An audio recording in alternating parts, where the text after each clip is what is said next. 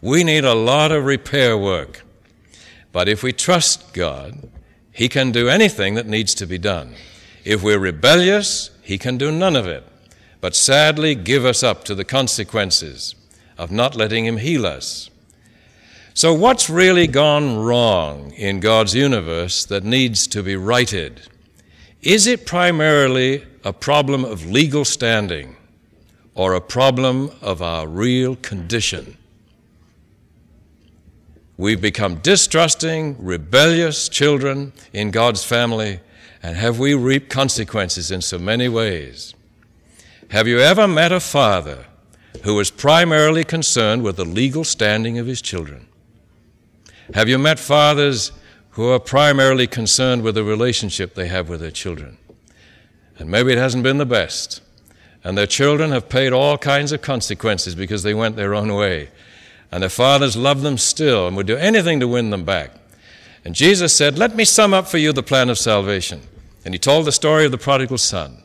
It's the clearest story of the plan of salvation ever heard in human words. And we say, well, it's not very theological, but he was no theologian. That's why he talked that way. He was the Son of God. That's clear enough. The marvel of it is that our Heavenly Father is way down the road looking for us and hoping we'll come back. He's forgiven us long ago. He's forgiveness personified. There never was a time when He didn't feel forgiving toward us. It's just we don't know it. And of course, so long as we stay in the pig pen, eating that inadequate diet, or a little earlier, carousing as that young man did and running the risk of all kinds of destructive diseases, we're going to go from bad to worse. But one day the young man came to his senses. A little of the truth about God still lingered in his memory, his father, that is, and he headed for home. He didn't know him as well as he should, so he was going to make all kinds of promises of restitution. I was going to make things right, and please don't, don't give me back my original position. Let me just be a hired servant. He didn't know his father. I, uh, he, he wasn't picturing his father very well, there was he? Thinking that his father would make a hired servant of him? God doesn't have second class members of his family. We're all fully restored. And when his son arrived and started his speech, you remember, the father was so thrilled. Uh, the emotion in the biblical story is overwhelming.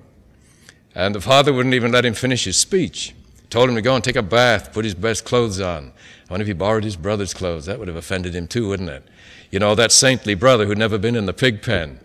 We have to watch, you know, those of us who haven't wandered so far those of us who've been born in the church, we, we're not loved by a Heavenly Father any more than those who haven't joined yet or those who've been in and been out. We are all members of God's family. Or are only the good children members of the family?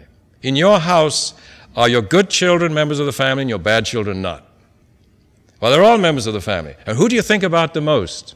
Often it's the troublemakers you think about the most because they need it the most. You could almost say God loves the ones in trouble the most. Well, which sheep did he go after? Did he stay with the 99 and go after the one? That's the truth about God. That's the best theology in the Bible. God is not preoccupied with legal problems.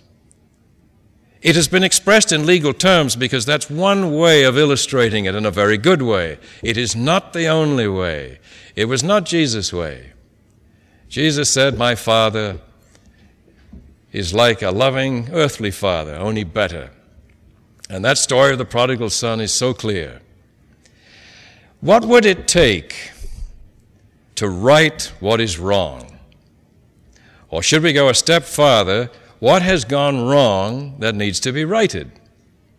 Wouldn't that be the place to begin? And in Hebrews, we have a description of how God has tried to right what is wrong. Now, could we agree, we all have a background in the great controversy, could we, could we agree that the essence of what has gone wrong is the relationship that we have with our Heavenly Father, our Creator? That some of us have more or less accepted Satan's lies about God. And we've come to think of God even as we even keep Sabbath, even as we teach the intercession of Christ, even as we explain why Jesus had to die, we show we have accepted Satan's lies that God is arbitrary, vengeful, unforgiving, and severe. And if Jesus were not our friend in court, boy, if you were left with a father, would he give you a bad time? What do we mean we have a friend in court and that friend is Jesus and not the Father? That's a dreadful thing to say, isn't it? Think what we imply, and our children get the message. So you see, maybe there are some wrongs in our own minds that need to be righted. But all the wrongs I can think of ultimately go back to the wrong view of God. That's where it all started the lie, leading to the lies about God. Then, if you're going to right what's wrong, it will require truth, and it will be the truth about God. And if only we could see God as He really is, we're still free to reject it. Lucifer rejected it to his face.